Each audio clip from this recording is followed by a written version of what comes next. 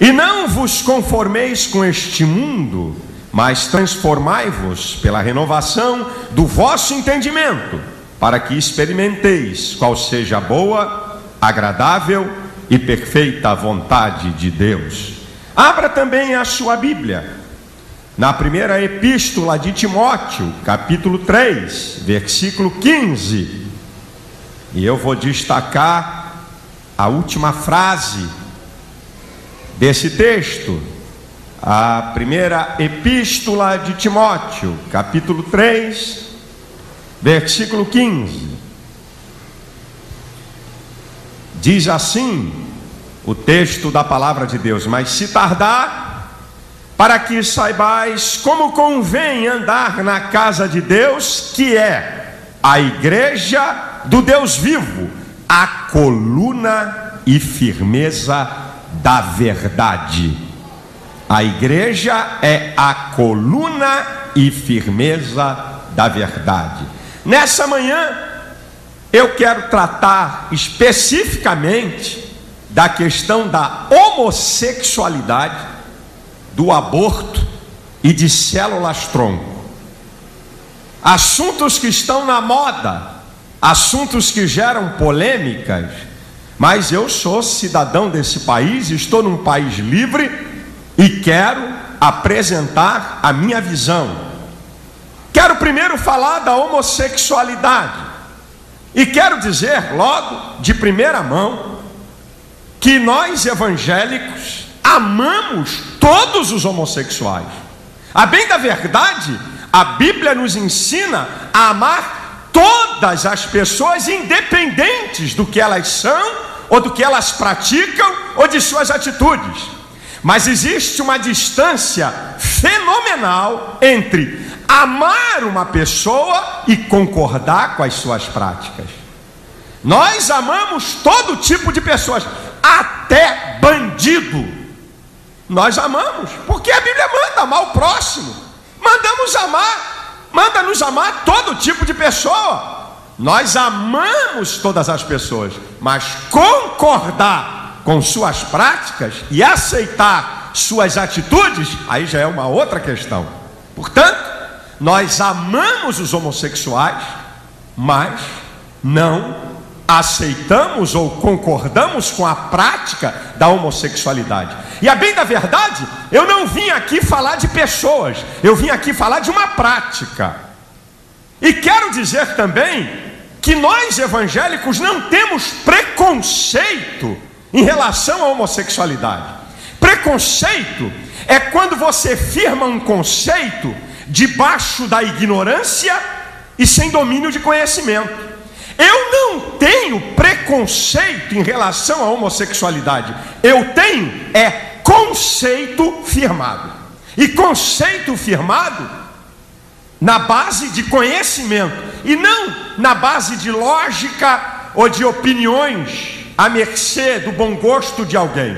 Portanto, nós não temos preconceito, nós temos um conceito firmado sobre a questão da homossexualidade.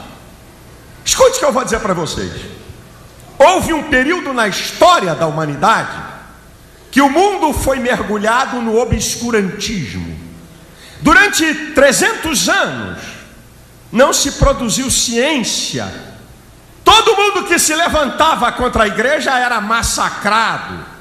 A Inquisição matou um bocado de gente. Qualquer um que se levantasse contra os interesses da igreja, o couro comia, o pau quebrava e acabava morrendo. O que nós estamos presenciando hoje é uma moderna inquisição científica e sociológica. Qualquer pessoa que se levante para se opor à prática da homossexualidade é logo ridicularizada, desprezada, rotulada como preconceito, e os grupos de defesas homossexuais trabalham com força através da mídia, porque as centrais de jornalismo, as centrais de produções de novela estão infestadas de pessoas que têm a prática homossexual na sua vida, então eles são bem organizados, têm acesso à mídia e qualquer um que se levante para apresentar qualquer tese contrária aos interesses da comunidade homossexual é bombardeado. E o que me acha e me causa espanto, que até o Conselho Federal de Psicologia baixou resolução proibindo que os psicólogos realizem qualquer tratamento em homossexual que queira mudar a sua preferência sexual. É a ciência a serviço do desserviço. Eu não sabia que as ciências humanas viraram ciências exatas. A ciência trabalha com a busca do saber e do conhecer mas a pressão de grupos homossexuais é tão violenta que eles colocaram ponto final. Ninguém pode estudar ou apresentar teses sobre a questão da homossexualidade, que o tiro, o bombardeio vem e até com ameaças de justiça. Eu estava vendo um debate na TV um dia desse sobre a questão da homossexualidade e um representante de um grupo de defesa homossexual ameaçou os participantes do debate, dizendo: Olha, cuidado com o que vocês vão falar aqui, porque depois, lá na justiça, a coisa fica feia. Eu falei: Ah, se eu estou aí, meu filho. Ah, se eu estou aí, tu ia ver o que, que ia acontecer, se eu ia dar mole para você. Ameaça até com ações da justiça quem se opor a essa prática. Mas afinal de contas, o que que dizem sobre a homossexualidade?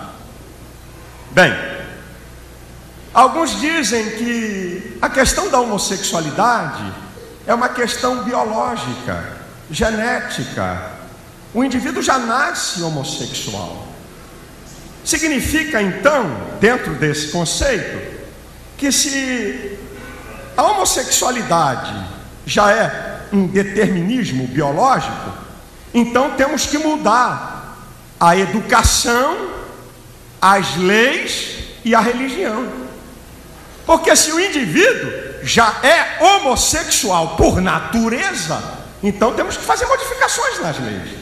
Temos que fazer modificações na educação, temos que fazer até modificações na, na religião para poder aceitar essa tese.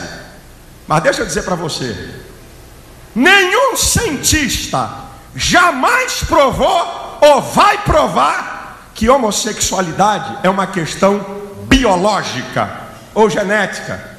Não existe ordem cromossômica de homossexuais. Existem cromossomas femininos e masculinos.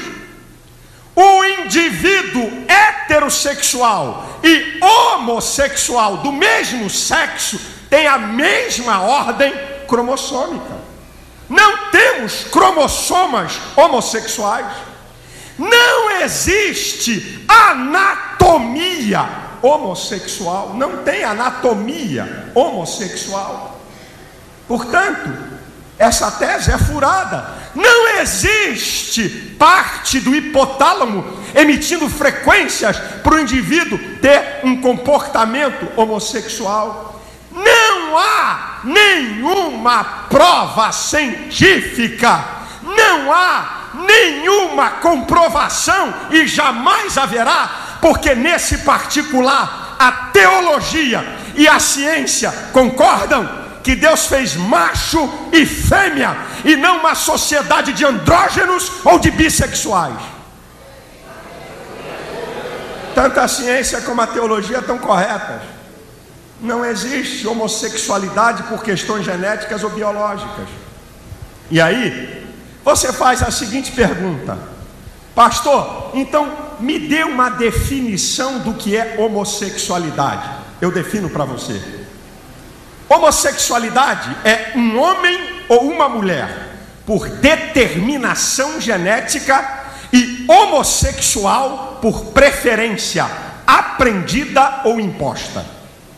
Esta é uma definição de homossexualidade. Um homem ou uma mulher por determinação genética e homossexual por preferência aprendida ou imposta.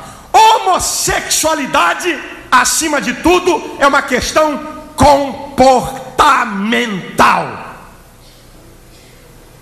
O ser humano é um ser social e vive de modelos de imitação. O ser humano é um ser social, vive de modelos de imitação, imita moda, imita moda, né? imita corte de cabelo, imita cor de roupa, né? Imita carro. O ser humano vive de modelos de imitação.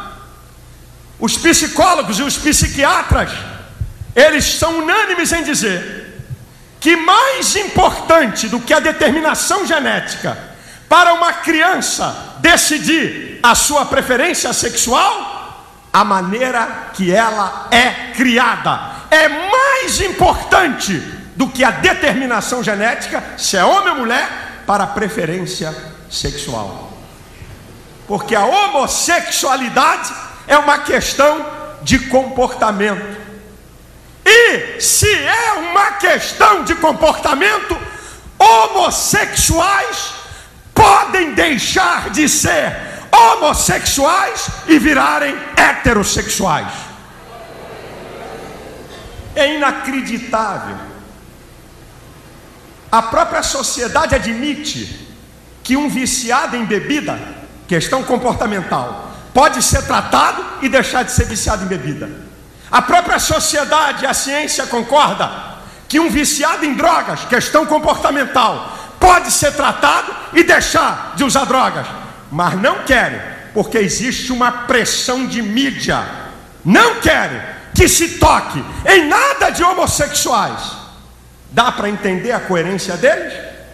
Se o indivíduo pode deixar de ser alcoólatra, se o indivíduo pode deixar de ser cheirador de cocaína, porque é uma questão comportamental, o indivíduo também pode deixar de ser homossexual e mudar sua preferência. Agora escute as pesquisas nos Estados Unidos que ninguém mostra.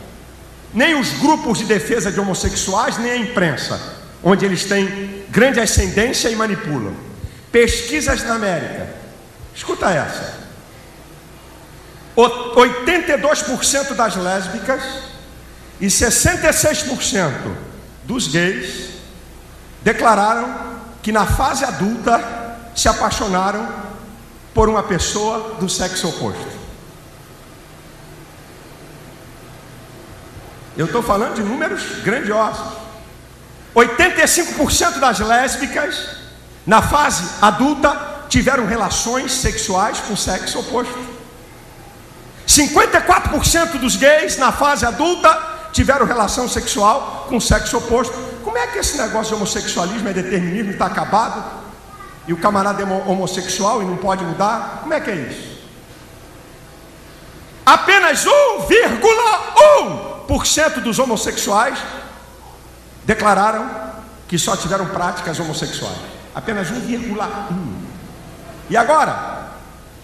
Uma outra pesquisa americana mostra 84% dos gays já mudaram pelo menos uma vez a sua preferência sexual.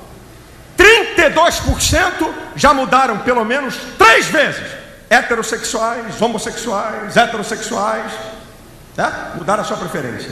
E 13% mudaram pelo menos cinco vezes a sua preferência sexual. Heterossexual, homossexual, heterossexual, homossexual. Uma pesquisa do Instituto Johnson lá nos Estados Unidos sobre pessoas que foram, que desejaram e que buscaram e que queriam mudar o seu comportamento homossexual e foram pedir ajuda, 79,9 conseguiram mudar a sua orientação sexual de homossexualidade para heterossexualidade. A verdade, minha gente, é que querem mudar as leis querem mudar os valores da sociedade, porque um grupo da sociedade tem uma prática. Agora escute: imagine se toda prática deturpada, pecaminosa, hein, imoral, tem uma grande parcela da sociedade praticando, então nós vamos legalizar. Olha, legaliza a cocaína, porque tem gente cheirando cocaína de dar de pau. Olha, legaliza o crack, porque tem gente usando o crack que dá de pau. Olha, daqui a pouco vai vir alguém dizendo: legaliza a pedofilia, porque tem muita gente praticando isso. Olha, legaliza esse negócio do camarada casar com três, quatro, porque tem um bando de marmanjo que tem três, quatro mulheres. Onde vai parar a sociedade se ela legalizar tudo? Sabe o que, que as ciências humanas me dizem? Quanto mais você legalizar, mais o ser humano se torna insaciável. E quanto mais se legalizar, ele perde a noção de princípio. E quanto mais você legalizar as coisas na sociedade, o ser humano perde referência. Querem legalizar tudo. Agora não fica chateado comigo. Um erro moral nunca pode ser um direito civil. Eu vou repetir. Um erro moral nunca pode ser um direito civil. Porque se essa sociedade legalizar todas as aberrações, ela auto se destrói. Porque todo ser humano precisa de limite. Escute isso que eu vou te dizer. Pesquisa de um cientista Charles Vink, da Universidade de Nova York, ele pesquisou mais de duas mil culturas existentes na história da raça humana. Chegou à conclusão que em apenas 55, em apenas 55 eram culturas unissexuais, isto é, não havia diferenciação do papel do macho e da fêmea. Sabe o que aconteceu? Essas culturas se extinguiram rapidamente. Sabe por que isso? Porque nenhuma sociedade é mais forte do que a vitalidade das suas famílias. E a vitalidade das suas famílias depende do relacionamento dos sexos opostos, isto é, do relacionamento heterossexual. Nenhuma cultura até hoje existente deixou livre a questão da homossexualidade. Todas elas impuseram limite. Em nenhuma cultura existente até hoje, a homossexualidade nunca foi preferência para adultos na maior parte do ciclo da vida. Eu não estou falando de teologia, eu estou falando de sociologia, de dados científicos.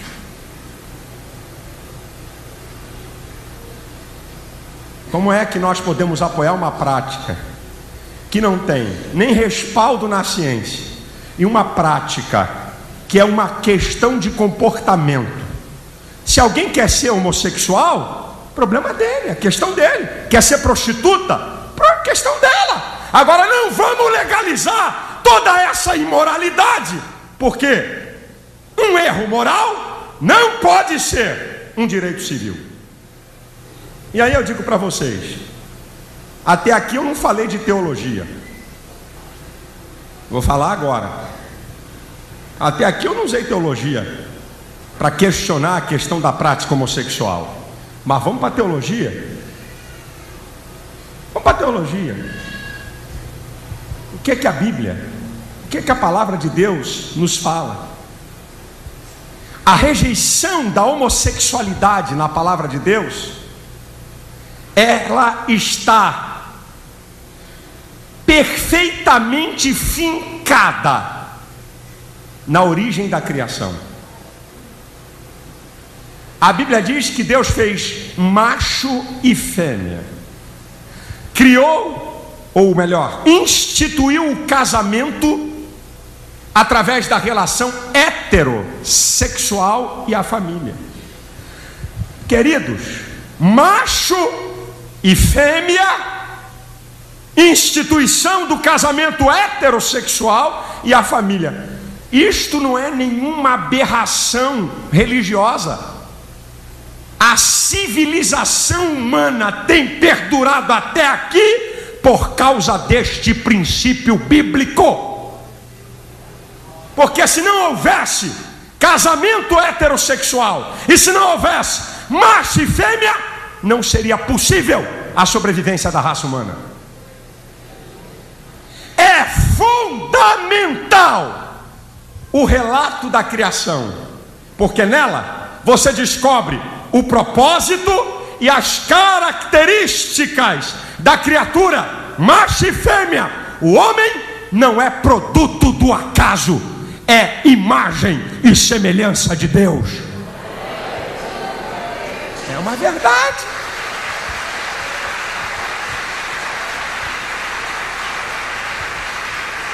A homossexualidade, à luz da teologia e da palavra de Deus, é uma rebelião consciente contra a ordem divina da criação.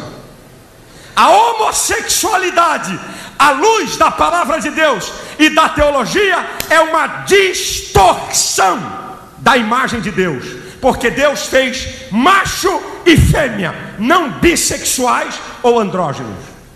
E quando a Bíblia trata da homossexualidade, ela trata na questão de erro, pecado, perversão moral, quer no Antigo Testamento ou quer no Novo Testamento. Levíticos 18, 22.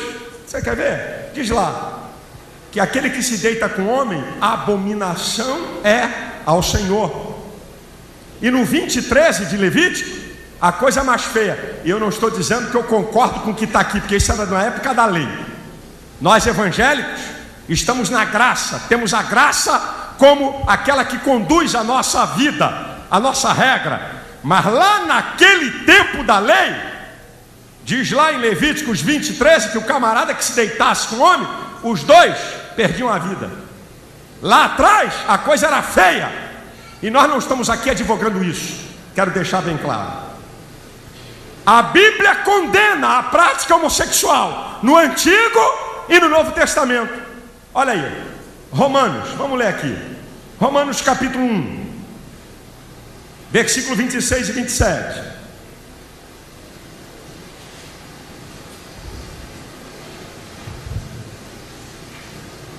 Olha o que, que diz a Bíblia. Agora eu estou falando de teologia. Olha o que, que diz a palavra do Senhor. Romanos 1.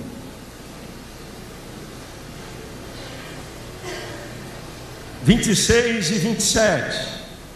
Pelo que Deus os abandonou às paixões infames, porque até as suas mulheres mudaram o uso natural no contrário à sua natureza, homossexualismo feminino.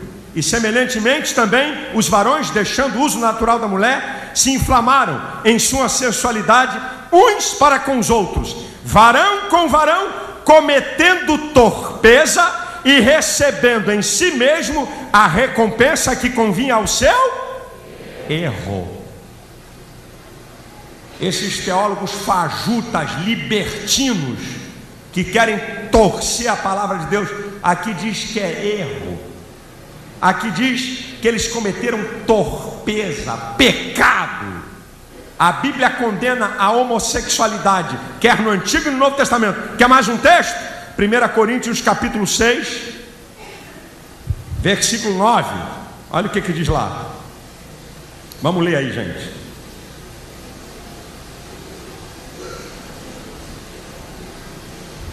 Primeira carta de Paulo aos Coríntios, capítulo 6, versículo 9 e 10, diz assim, 1 Coríntios capítulo 6, versículo 9 e 10, não sabeis que os injustos não hão de herdar o reino de Deus? Não erreis, nem os devassos, nem os idólatras, nem os adúlteros, nem os efeminados, lá no grego malacói, o, o, o passivo, o homossexual passivo, e nem os sodomitas, homossexual ativo. Ó, até aqui a Bíblia faz essa divisão. Nem os ladrões, nem os avarentos, nem os bêbados, nem os maldizentes, nem os roubadores herdarão o reino de Deus. A palavra de Deus condena a prática homossexual, quer no Antigo e no Velho Testamento, e não vem para cá com essa filosofia barata de que Deus é amor. Deus é amor, que grande coisa! Ai meu Deus do céu, ninguém sabia disso. Deus é amor, mas a Bíblia diz que Deus é justiça. Faz parte do caráter de Deus o amor, a justiça, a compaixão.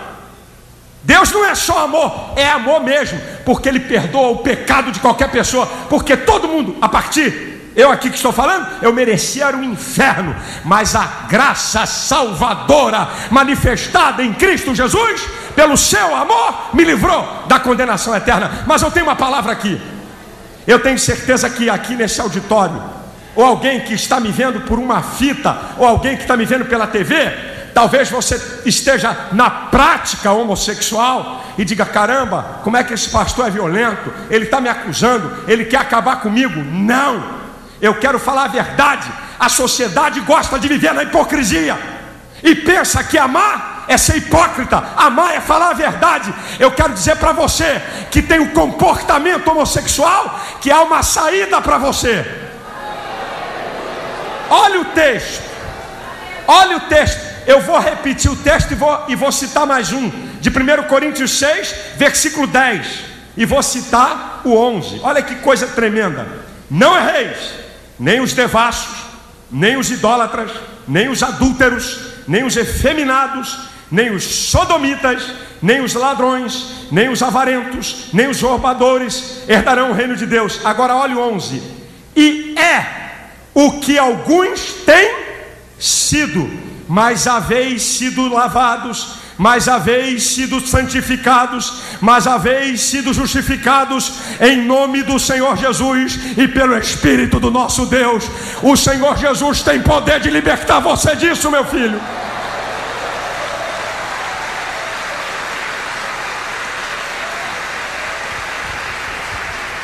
Se técnicas terapêuticas não funcionam para mudar o comportamento homossexual para heterossexual, qualquer homossexual que reconhecer o seu pecado e confessar ao Senhor Jesus e obedecer a sua palavra, vai ser liberto pelo poder do Evangelho de nosso Senhor Jesus Cristo.